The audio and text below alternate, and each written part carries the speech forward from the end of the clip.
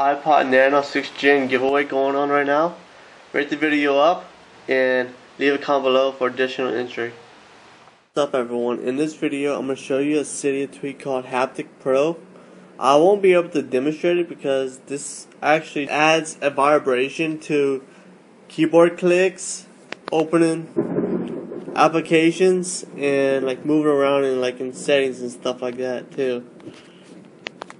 And when you click on an application, it just adds a vibration and far as when you're typing, it adds a click for every a vibration for each little click. Just to spell my name real quick. Then whenever you you're racing, it non-stop vibrates really really fast. It's a pretty cool little Cydia tweak.